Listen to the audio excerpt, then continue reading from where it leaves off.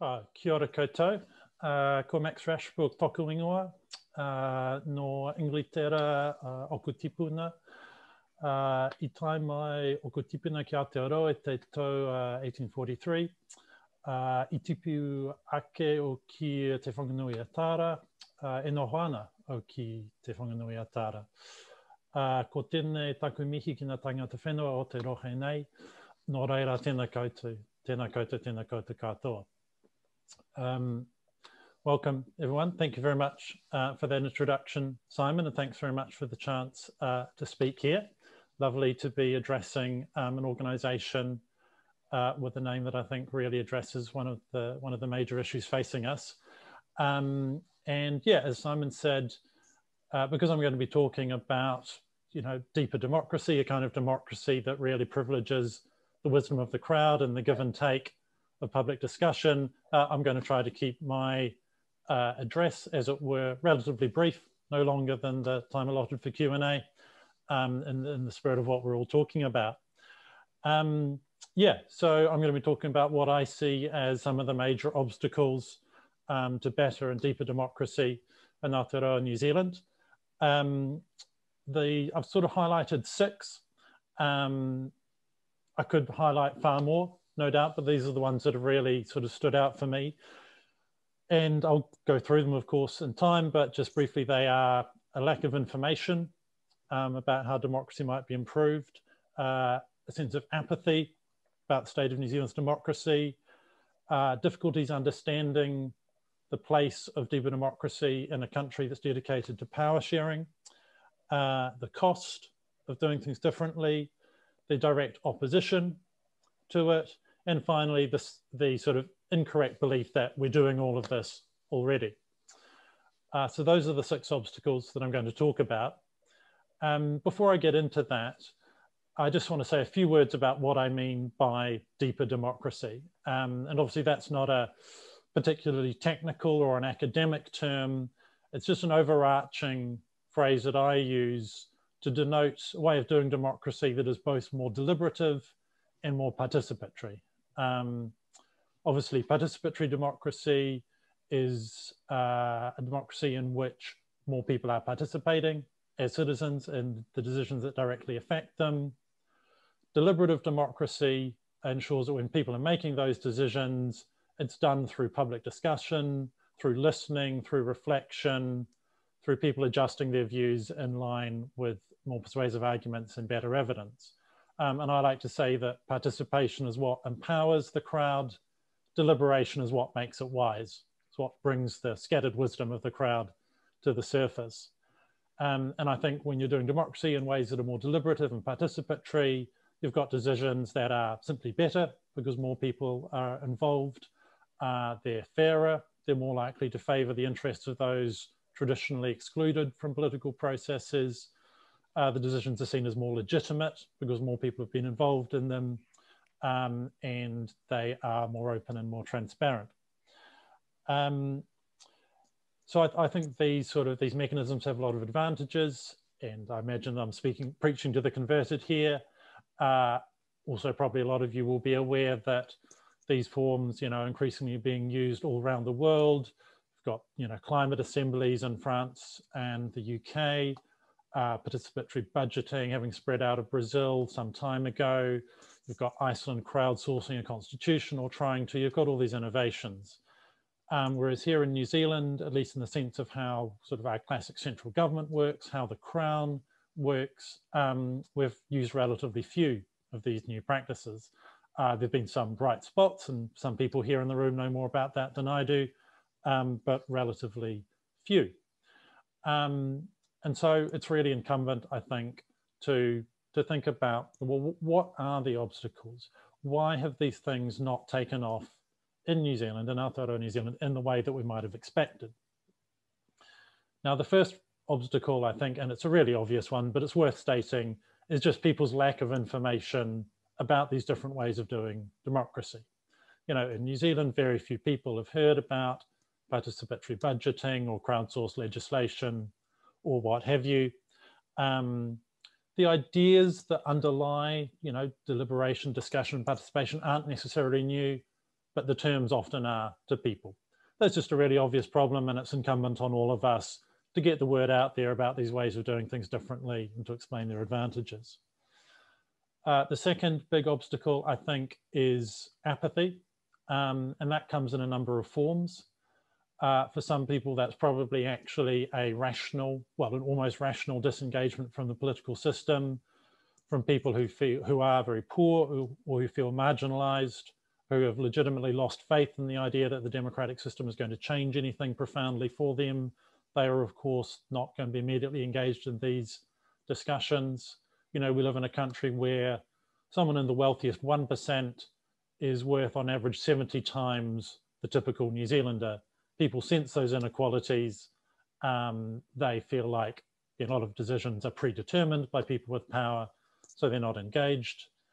Um, even amongst, I guess, sort of relatively engaged, relatively affluent people, there's a different kind of apathy, which I think is a kind of um, complacency about how good democracy already is in New Zealand, and this belief that we sort of have, quote, one of the best democracies in the world already um, because of course we do very well on the transparency, uh, Transparency International Corruption Perceptions Index, on the Economist Intelligence Unit, Democracy Index, on all these kinds of measures. Um, and so obviously uh, it has to be pointed out, I mean, for all these groups, you know, firstly, the transformative power, I think, of deeper democracy. You look at the way that participatory budgeting in Brazil is engaged and really deeply with people from poor communities. It deliver spending that is profoundly more pro-poor than classic uh, political decisions. On the other hand, in terms of that sort of middle class apathy, um, I think we have to point out that although you know our political system works relatively well in terms of being free and fair, open elections, independent media, and all these kinds of things, actually we score much less well on measures of political culture and measures of political participation. Um, so just sort of starting to chip away at that complacency and that apathy. The third major obstacle, as I said, is I think a lack of clarity about the place of these sort of deeper forums of democracy in a country that's dedicated to power sharing between Māori and Pākehā. Um, you know, and that's a question about, well, how do, you know, if we're going to, if we're pursuing a country um, in which Māori can generally exercise tino rangatiratanga, including the ability to make political decisions for Māori by Māori. How does that fit in with creating some of these deeper democratic forums, like citizens' assemblies that people might want to see? And I want to be really clear here that the obstacle is not the ambition for power sharing, which I think is extraordinarily important the obstacle is our lack of clarity about how we resolve the place of deeper democracy in Aotearoa New Zealand. Uh, to give just one obvious example, if you held a citizens' assembly today at a nationwide level, it would have might have 100 people. Māori would be 15 people on that citizens' assembly, would be again in the minority, would again run the risk of having their views overridden by the Pākehā majority.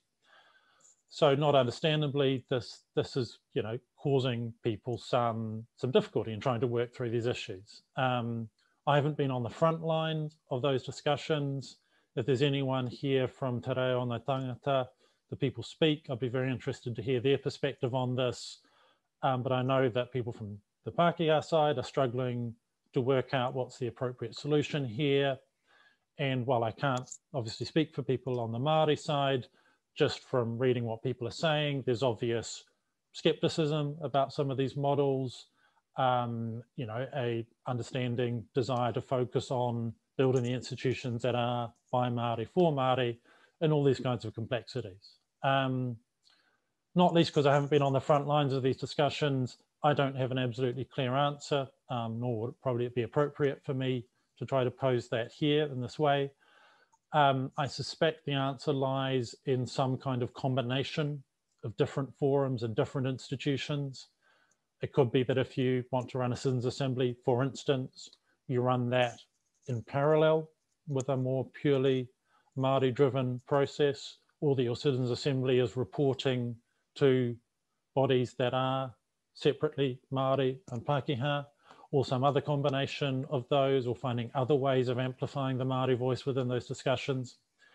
Um, or it could be that, you know, I've been influenced quite a lot by the Mātike Mai report, the process led by Margaret Mutu and Moana Jackson, uh, which, as you know, some of you will know, talks about the need for a rangatiratanga sphere where Māori make decisions for Māori, a kawanatanga sphere where Pākehā make decisions for Pākehā, and a relational sphere where two cultures work out the policies that affect all of them.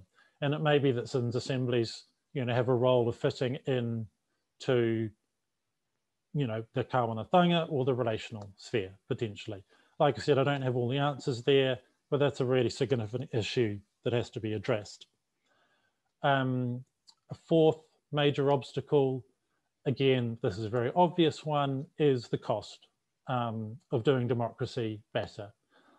Uh, assemblies in particular are very expensive uh, compared to, well, at least are perceived to be very expensive compared to other forms of doing things. Participatory budgeting processes take a lot more work on the part of local councils going out to communities. Um, asking them, you know, to make these trade-offs, scaling up, you know, sort of neighborhood meetings into ward meetings and then citywide meetings.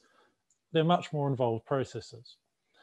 Um, and, you know, and, and we face the sort of the, the tension, the conflict that I think a lot of these processes would logically work best at the local level um, because people's expertise in their own lives is most relevant there.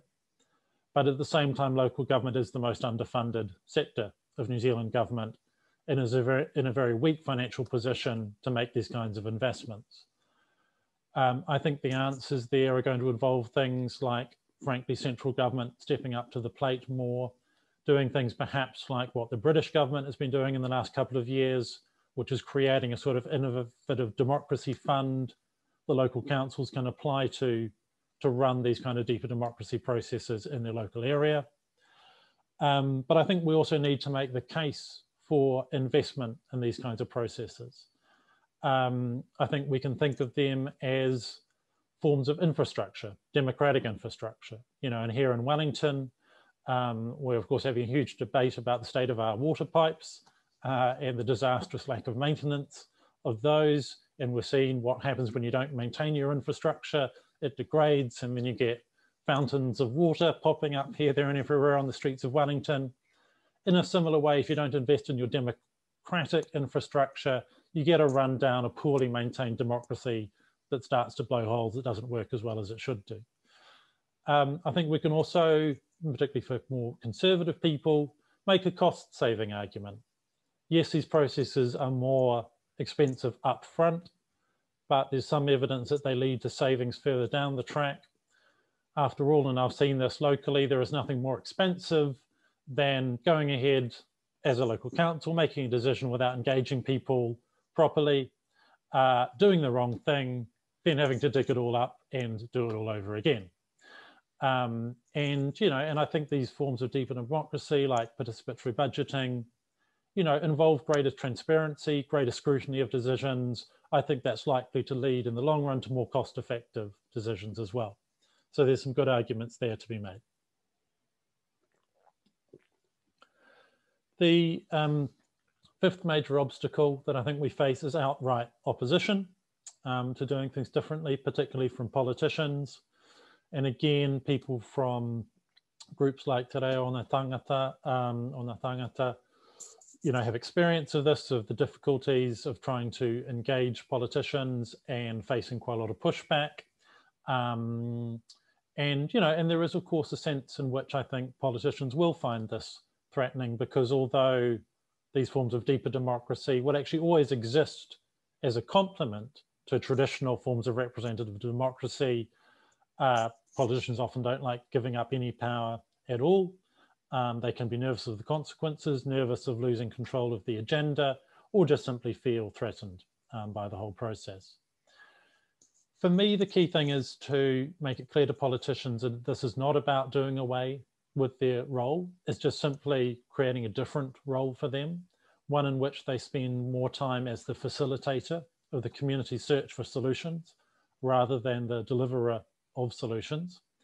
Uh, that's not always going to be an easy sell, but that is that is you know the the reality.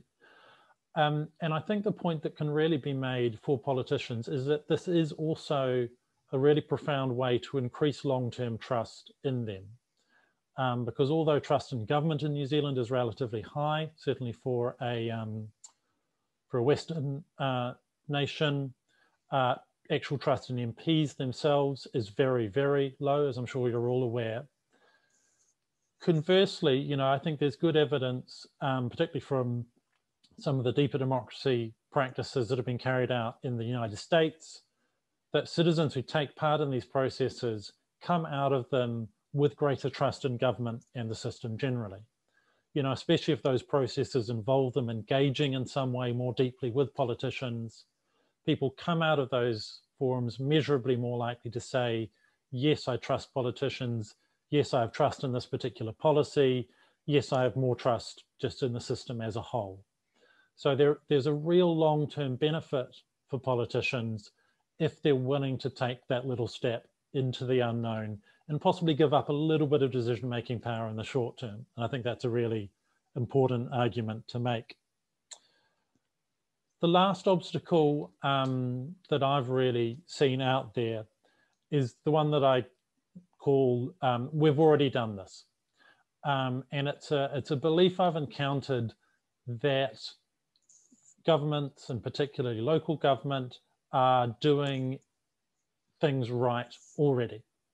So when I wrote a piece last year about the situation with housing in Wellington uh, and the sort of, you know, what I think is the very uh, almost sort of toxic uh, oppositional debate, if you can call it that, between people who want greater densification and people who don't. Um, you know, I proposed a method that, you know, I think there's some evidence has worked in places like Seattle, where councils work really deeply with communities that are earmarked for greater density of housing. And by giving the communities control over that process, they actually find a way for the community to come up with plans for densification that are what the council needs, but which residents themselves can live with. Now, when I proposed this, the overwhelming, well, one of the overwhelming responses was, oh, but we've already consulted with the community. You know, so a lot of people think they're already doing things right. Um, when of course, you know, what they mostly will have done is a relatively sort of tick box consultation process, maybe something slightly better than that, but probably not much better in reality. And this sort of circles me back around to where I started, I guess. This view is a combination of a lack of information, um, you know, a lack of actual sort of understanding about what these new forms of democracy might mean, uh, combined with an apathy, you know, a belief that things are already being done well.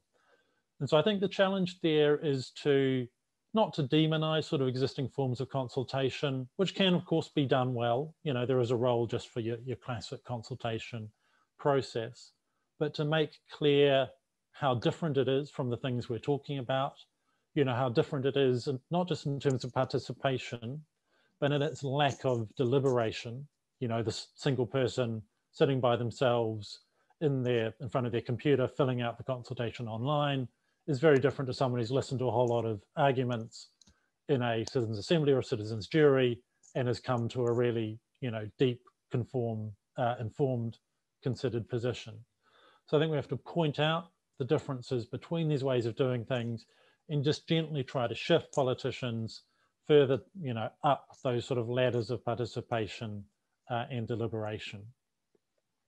So that's, that's some of the key obstacles as I see them. I'm sure those aren't all of them. I'm sure there's plenty of others that people have encountered.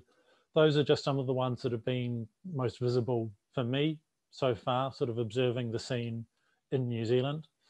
Um, I think that, I mean, I, I you know, I think th these are real obstacles um, and we have to confront them but I hope it hasn't been too downbeat a talk. I hope at every stage of the way I've given some hints about how I think we can move through um, these objections and these obstacles. I know that's something you're dedicated to, and I'm looking forward to continuing this conversation in future years. Thank you very much.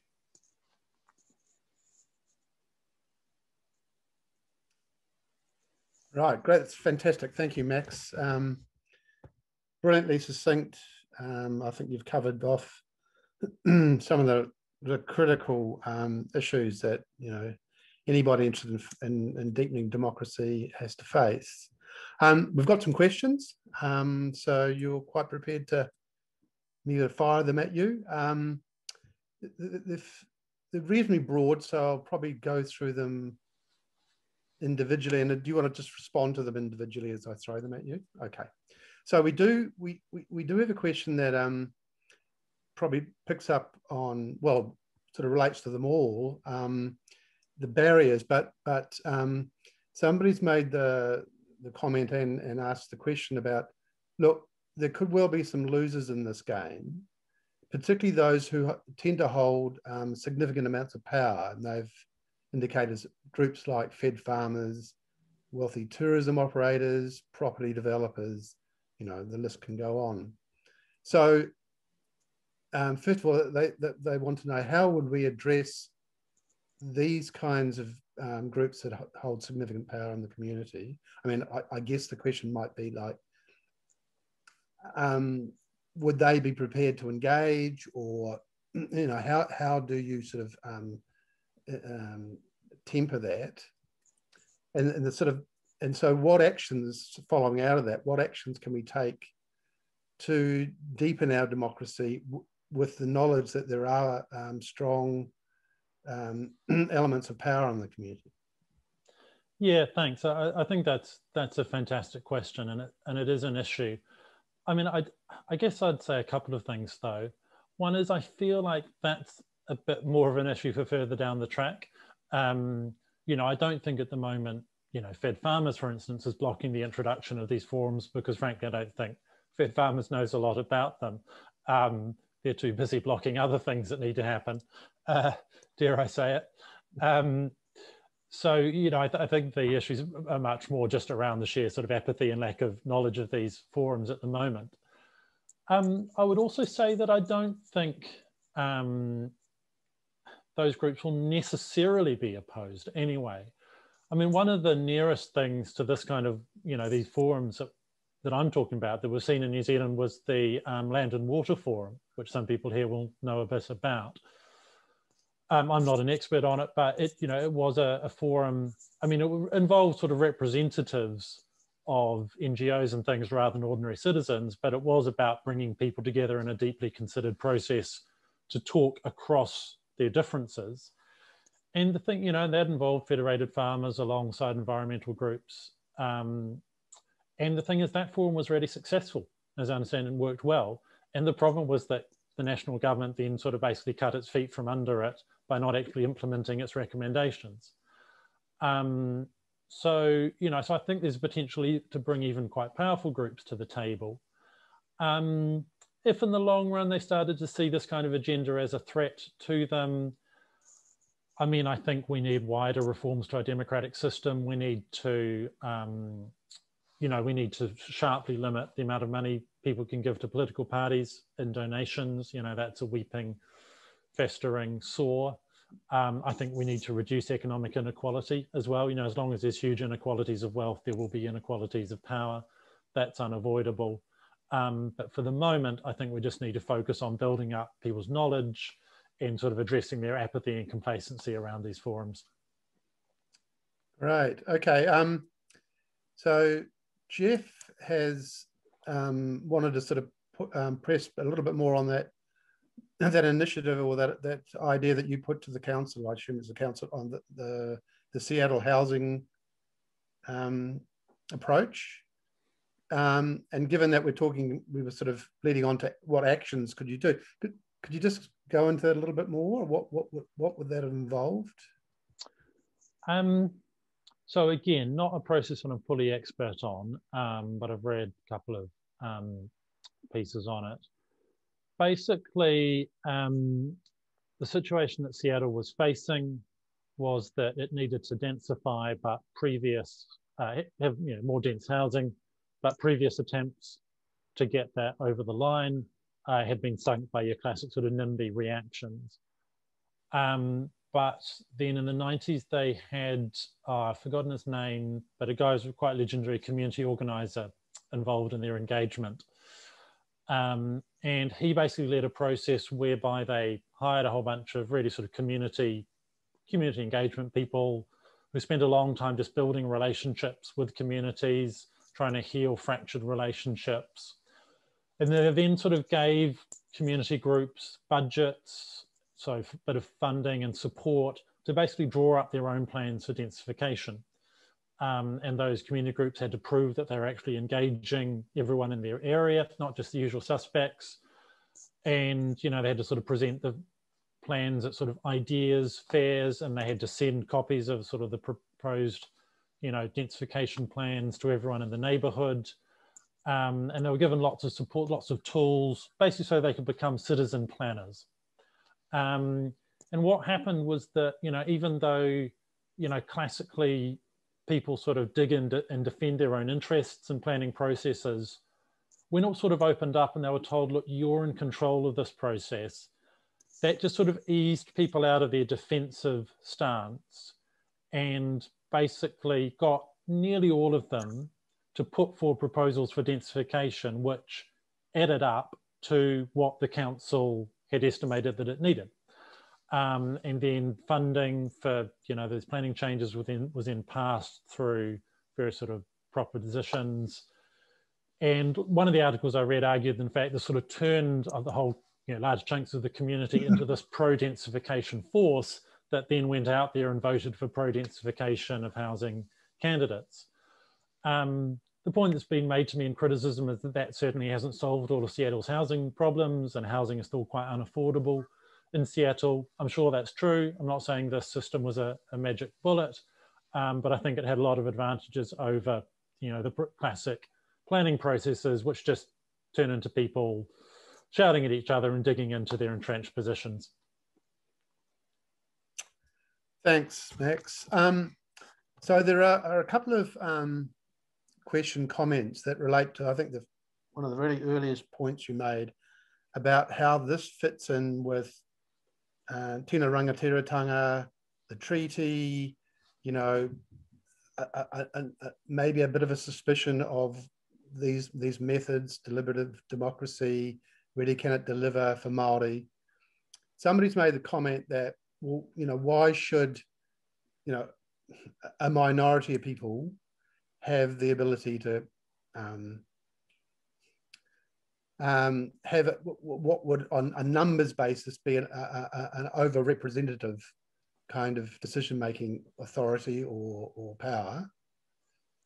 Um, and I know you've sort of addressed that to some extent, but I'm putting that out there that that is a concern to some people in the community. And then somebody's come through and, and, and I think picked up on something that you did mention as a way of sort of trying to address that is um, I mean, I know we, we know that in, in often in um, citizens juries, you you do you know you, your sampling techniques can help address mi minorities issues in terms of representative um, percentages or numbers or whatever. Have you got anything to to uh, elaborate on on some of those techniques for ensuring a that minorities can be be adequately represented, even though you know. Um, uh, yeah. So, uh, are there any techniques that you, you're aware of? And then secondly, yeah. just to come back to that point about concern over, you know, supposedly, you know, overriding the wishes of the majority. Yeah, look, I mean, it's it's a really, they're really, really tricky questions, um, and I'm not sure that on this field, on the specific point, I've got a huge number of answers. Um, I've probably got more questions here than I have answers, but you know, I think that's fine sometimes. Um, yeah, I mean, there's certainly a lot of things, and, and you'll know this, John, of course, um, that you can do to ensure that these kinds of forums work well and are inclusive. And of course, often facilitation within these forums is crucial um, to ensure that everyone who's there, well, firstly, you know, you have your sampling so these forums are representative of the whole population, you know, so they're balanced on a gender basis and all the rest of it. you also need really good facilitation to ensure that people who wouldn't normally feel comfortable speaking up do feel comfortable. Uh, and it's not just people from my demographic who feel very comfortable speaking, uh, who, are who are dominating the proceedings. Um, you know, facilitation is absolutely crucial. But that obviously doesn't solve all your questions about the basic numeric sort of issues. And look, those are really complex and it's going to be difficult to solve them because that is one of the massive fault lines of sort of democracy more generally, you know, certainly, you know, as it's practiced in the West, which is that there's always this uneasy tension between the decisions of the majority, which is how politics mostly works, versus the protections for the minority. You know, so we carve out these things like, you know, all the essential sort of basic liberties like freedom of religion, you know, so that even if you're in a minority religion, that can't be overruled, as it were, by the majority you know, we're always trying to operate these things in an uneasy kind of tension um, and balance minority interests while sort of, you know, broadly speaking, having ruled by the majority. You know, and the sort of deeper democracy issues are no different to that. Yeah, look, I don't really have a clear answer, um, except to say that I think, you know, I think there's a really positive story here. You know, I've been talking about sort of, you know, Western construct, constructs of deliberation and participation, and there's a lot of really great values in those traditions, values of inclusion, fairness, mutuality, turn taking, and speech. Um, you know, and that's the tradition that I work in. But of course, there's, there's a huge, long standing and indigenous Māori tradition of, you know, of hui, of kōrero, whai kōrero, turn taking and speech, of considered consensus based decision making. The Matike Mai report that I mentioned earlier was itself developed through what sounds like an incredible process of, you know, what I would call deliberative democracy, something like 250 hui up and down the country, you know, taken to put together that report. So I think there's really fantastic traditions that we can draw on from both the Māori and the Pākehā spheres. And I think that if we just work, you know, with good faith, faith and with, you know, an acknowledgement of the importance of power sharing and tino rangatiratanga, that we'll get to a good position in these debates eventually. Yeah, well, certainly getting a um, you know a few comments from people like Phil Saxby from uh, Aotearoa Climate Emergency, you know, who are working very closely with Tangata Whenua. And so hmm. there, there seem to be, you know, quite a number of different groups and organizations, and you'll be aware of many of them. Um, yeah, and, and can I just and can I just reiterate, John? I'm I'm really keen to to learn from and hear from those groups either now or some other time about how they're getting on with exactly those yeah. discussions. So yeah, that, that's um, a useful thing. We can kind of network through, you know, some of those people. And um, um, what else have we got here? See if there's any way I can group them. Um, I mean, just to go, uh, this is this is my question, but it, it, it built on other other questions and and your, some of your responses. I mean, given that the fact that you know large chunks of uh, uh, countries that we would compare ourselves are increasingly looking to you know very um, uh, uh, uh forms of, of, of public participation deliberative deliberative democracy, I suppose, is the umbrella term and you, you, have obviously been through some of the, the, the obstacles, the barriers. Um, do is there a, a, lack or a dearth of um, scholarship, academic interest, and journalistic interest in this country um, compared to some of the other um, Western nations, Australia or the UK or Ireland or, or you know European countries? Is that being a bit of a handbrake? Do you think? Yeah, I, I, I, suspect so to some extent. Um, yeah, I mean, we don't have a lot of, you know, there isn't a lot of sort of, how can I put it, overly intellectual media. Um, it, you know, so there isn't, there aren't a lot of journalists who necessarily want to engage with these issues. Um, you know, and that's obviously different in places like the UK where you've got sort of the, the quality papers, as it were, the broadsheets, and you know the BBC, which is really powerful um, news outlet. So that that's a shortcoming to some extent. Um, yeah, and I think the the number of academics who are sort of active in this field, certainly in sort of you know in the Western tradition of deliberative democracy, is is pretty slender. Um, there's some good people like Matheson Russell at Auckland who are already starting to get cranking on this, doing some good thinking. Um, there is, of course, again, it's worth pointing out, you know, the completely separate sort of Māori academic traditions, um, looking at, you know, their own ways of decision making, many of which have similarities um, to deliberative democracy. But yeah, I think that's that's a fair point. Um, but you know, hard to really sort of immediately address any of those things. So you just have to work with the system as it is. Yeah, or not. Simon, how are we doing for time? I think we're just about at time. Maybe one more question. Right. Okay. Who is going to be the lucky? Look, there's, as I say, there are a number of people who are um, um, filing into the chat saying you know, they're they're working with various groups, uh, Māori organisations um, around climate change in particular.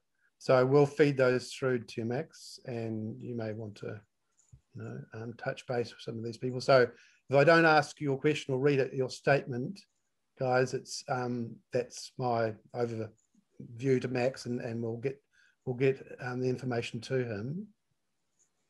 Um,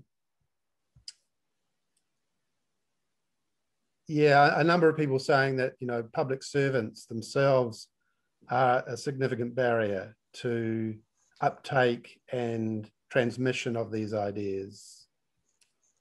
Um, and I think you sort of covered that, particularly in reference to local government. Yeah, and I'd just say that that's come through when I've I've had the odd session to, of talking to government, well, informally talking to groups of people at government departments about these issues. And one of the things that people have said, you know, people have just frankly said to me, God, you know, a lot of people at our ministry just wouldn't have the skills to lead one of the kinds of processes that you're talking about. And you know, it probably highlights the need, ideally, for a, you know a group in New Zealand that's funded in the same way that groups are funded in other countries to actually, you know, do that slow process of building up the skills base um, around these kinds of processes. Hey, um, can I ask a question directly, John? By all means. Uh, just um, over that question about uh, what's the direct action that we could take or where should we put energy tomorrow if we wanted to promote um, deeper democracy in New Zealand? Um, what would be one thing that most of us could go out and actually do tomorrow that would make a difference? Ah, it's a really good question. Um, Join Trust Democracy. I think there's there's a lot to be said for for joining for joining a group um, and working together because it, it's the sort of thing it's quite hard. I mean, I don't you know I don't want to sound too downbeat, but it's quite hard to do much about as an individual. Yeah, I mean, so so join a group that you think is working towards this. Um, I mean, I, I think just just getting out there and spreading the word slowly, slowly, slowly is really important. I mean, that's how change happens in the long run. I guess also just thinking about maybe where, where are the options, you know, for where, where are sort of the, the cracks where the light can get in, as it were, to quote Leonard Cohen. Um, you know, I think sometimes people sort of go straight to things like citizens' assemblies, which are really big and expensive. Well, they can be. I mean, I quite like the participatory budgeting model, and you can start it so small. I mean, it can just be the council just puts up a bit of a chunk of money, you know, just in the 10, five, you know, a few thousand dollars, tens of thousands of dollars, that would spend on grants and say, hey, we're going to have a bit of a public process around this. You know, you put up your ideas, there'll be a bit of a public vote, hopefully an engaged, informed one. You know, start really small so it's not that different to your existing processes. It's not too much of a leap for councils. You know, so if you have a local council or you know local councillor or some local council officials that you think might be sympathetic to that, have a word with them. Try to start it small, see what the enthusiasm for experimenting is. That's probably the best bet in the short run, I think. Well, on that note, um, positive note. Could I, could I, could I just talk? Could I just talk from Christchurch. Uh, it's Garry Moore here. We we run a little group. It started off with 20 of us, and we run a little group called the Tuesday Club. And every Tuesday night we discuss local topics, international topics, whatever. Uh, we send out a little email out every week, goes to 1,300 emails every week. And last night we had 61 people debating the council's policy on global warming and a representation review. And the council staff that were there, and the deputy mayor was there, and, and the council staff that were there said it was the best public meeting they'd attended on both topics. So that's just a little group of people. And every week we have between 40 and 70 people turn up in a little bar and we have a drink on Tuesday night at Smash Palace, and anyone can come and have a look at it if they like. Awesome. Thanks, Garry. Um, that I think will close the Q and A off. Look, Max, we really appreciate. Um, you know, you, have got a, a, really good clarity of vision on this. I mean, you're not uh, pretending to provide all the answers. Um, but you've stimulated our thinking, no doubt, and and and made us question even further because they they keep pouring in. So really yeah. appreciate your input into this um, into this into this hui tonight. Cool. Well, thanks, thanks, John. Thanks, Simon. Thanks everyone else who's been involved in organising this. Um, really admire your work. And I just want to say, um, obviously, I haven't sort of been able to follow the discussion properly in the chat, uh, but I've just done a cut and paste um, uh, so I can see what's been said. And um, looks like there's some fantastic information in there about progress people are making. So I look forward to reading up on that and learning a bit myself. So thanks very much.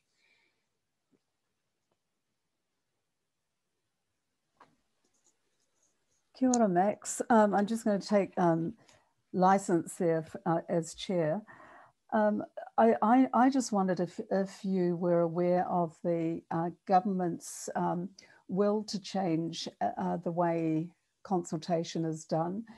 And um, if, if they are, then um, how, how would we begin that discussion? And how would government invest in change? Oh, um, well, I mean, my experience and uh, John and Simon, and no doubt others have had this experience as well, is that there's not a lot of enthusiasm um, amongst the current central government.